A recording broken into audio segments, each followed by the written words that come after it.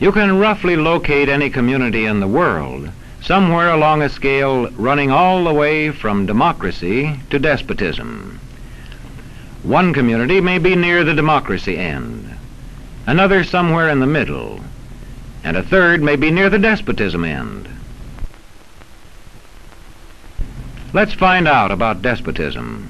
This man makes it his job to study these things.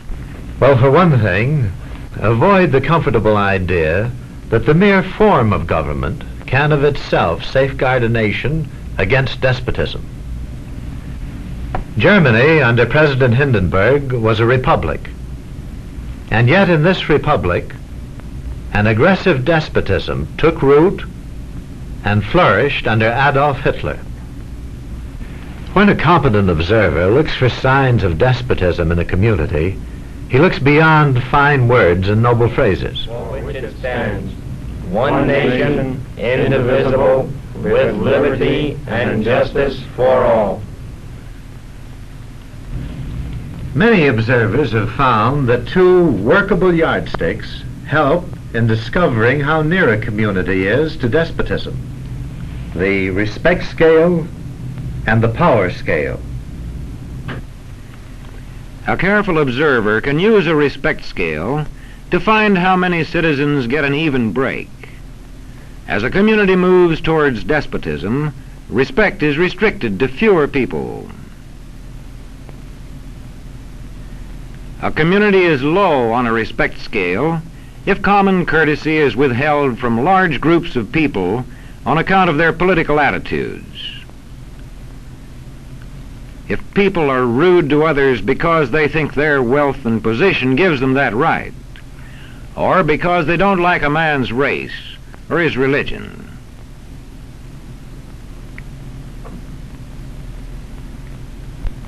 Equal opportunity for all citizens to develop useful skills is one basis for rating a community on a respect scale. The opportunity to develop useful skills is important, but not enough. The equally important opportunity to put skills to use is a further test on a respect scale.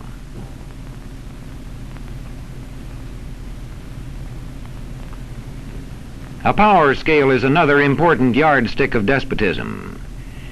It gauges the citizens' share in making the community's decisions.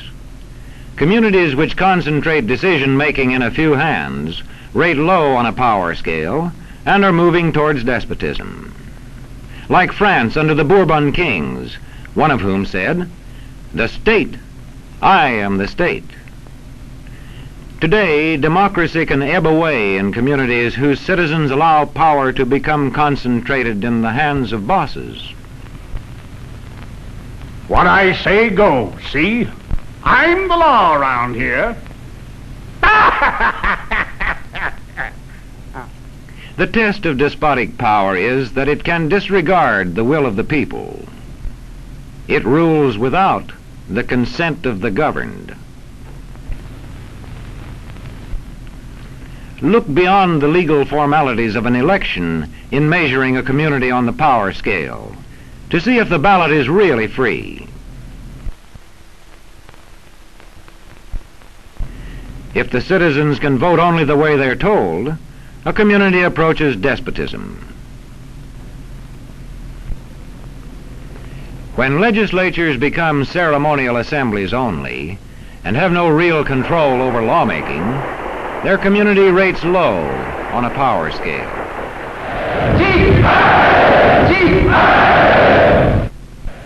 In a downright despotism, opposition is dangerous whether the despotism is official or whether it is unofficial.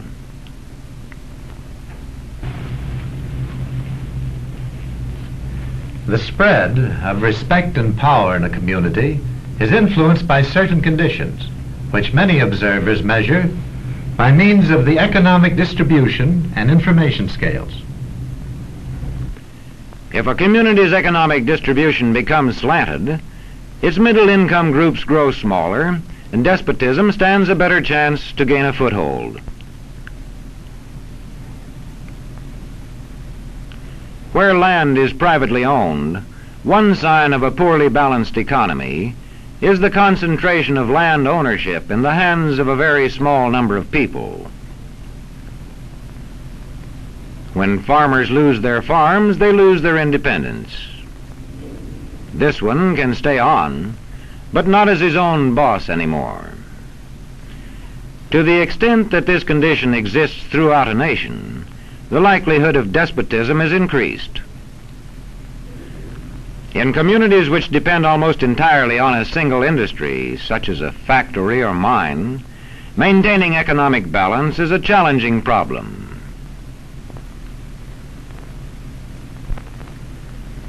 If this condition exists over the nation as a whole, so that the control of jobs and business opportunities is in a few hands, despotism stands a good chance.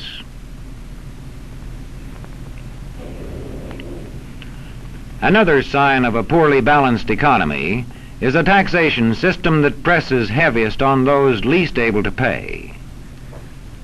A larger part of a small income is spent on necessities such as food. Sales taxes on such necessities hit the small income harder. In the days of the salt tax, feudal despotisms were partly sustained by this and other forms of sales tax.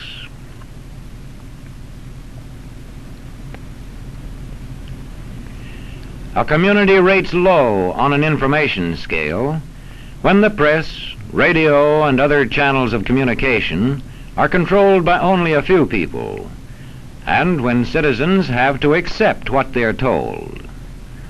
In communities of this kind, despotism stands a good chance. See how such a community trains its teachers. Bear this in mind. Young people cannot be trusted to form their own opinions. This business about open-mindedness is nonsense. It's a waste of time trying to teach students to think for themselves. It's our job to tell them. And when teachers put such training into practice, despotism stands a good chance. These children are being taught to accept uncritically whatever they're told. Questions are not encouraged. How can you ask such a question? Have you got a textbook? Yes, ma'am. Does it say here that our law courts are always just? Yes, ma'am. Then how dare you question the fact? Sit down. And so we aren't surprised when But it must be true. I saw it in this book right here. And if books and newspapers and the radio are efficiently controlled, the people will read and accept exactly what the few in control want them to. Government censorship is one form of control. A newspaper which breaks a government censorship rule can be suspended. It is also possible for newspapers and other forms of communication to be controlled by private interests. I thought I told you to kill that story. It'll cost us a lot of advertising. If that story goes out, I quit. All right.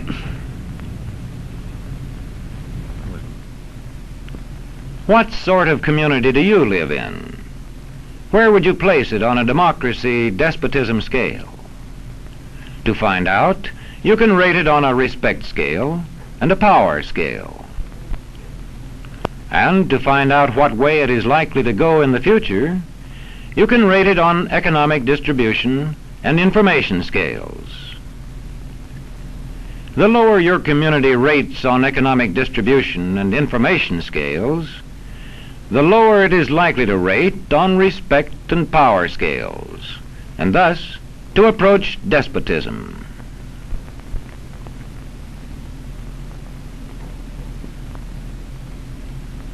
What happens in a single community is the problem of its own citizens.